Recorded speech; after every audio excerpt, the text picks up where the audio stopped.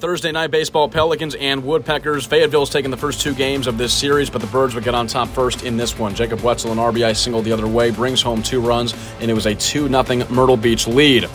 Fayetteville quickly responded. Top of the third inning, Jackson Holloway, his second home run of the series to deep left field. It was 2 to 1. The Pelicans would pack on five runs in the fifth. Ezequiel Pagan with a bloop single to left field. Kevin Made scores, and it would keep coming. Josue Huma a ground ball to first base. He would beat this out as another run comes in for Myrtle Beach. Jacob Wetzel with an RBI ground out to second base this time as a run comes in once again. And the Pelicans would add on to it here in the bottom of the fifth inning with Matt Warkentin's two-run single to left field. They would end the fifth inning up seven to one. It was Richard Gallardo's night. He fanned 13 batters. That's the most in a single game by a Pelicans pitcher since 2017, and the second most in franchise history. Josan Oquendo comes in relief. He throws a wild pitch here in the seventh as a run comes in but the Pelicans would bring more. Warkentin with his third RBI of the night up the middle, a run comes in.